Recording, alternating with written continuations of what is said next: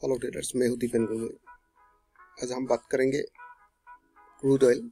देखेंगे कहाँ पे एंट्री कर सकते हैं और मार्केट कौन सा पैटर्न चल रहा है तो उसका ऊपर हम बात करेंगे। तो आप देख सकते हैं क्रूड ऑयल एक पैटर्न में रन हो रहा है तो आप देख सकते हैं यहाँ पे राइट तो एक रेंज पे चल रहा है। तो अभी मार्केट यहाँ पे है जिसे आपको आ, तो इसलिए मैंने क्या किया, जो हायर पॉइंट था, उसको कनेक्ट करके एक रेजिस्टेंट लाइन बना दिया। तो रेजिस्टेंट लाइन का ये लास्ट पॉइंट में ही है रेजिस्टेंट लाइन तो देख सकते हैं, यहाँ पे और एक सपोर्टिंग लाइन फॉर्म करके मार्केट नया सपोर्ट बना के जा रहा है। तो अगर आप देख सकते हैं मार्केट यहाँ से अगर इसको ब्रेकआउट नहीं किया तो मार्केट फिर से ये फ़र्स्ट सपोर्टिंग लाइन जो मैंने ये कहा कनेक्ट किया था यहाँ पे राइट ये एरिया में जो कनेक्ट किया तो यहाँ तक आ सकता है। अगर यहाँ पे आ गया तो यहाँ से आप बाय लेके ये जो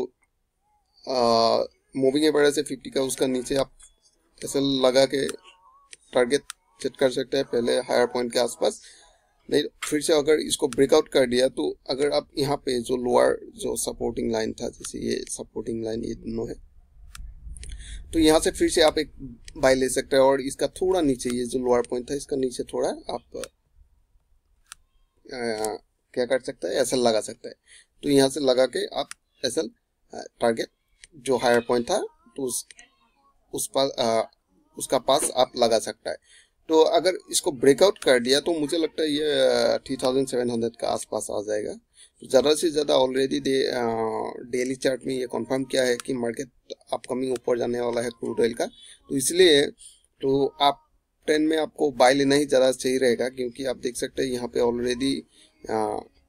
higher high higher low बना रहा है, जैसे higher high higher high higher high higher high तो देख सकते हैं यहाँ पे हायर लो कंटिन्यूस बना के जा रहा है राइट हायर लो तो यहाँ से थोड़ा बहुत, यहाँ हायर लो बना के फिर से ऊपर जाने का सेंसेस है right so I hope you enjoyed this video if you like this video please like and subscribe thanks for watching.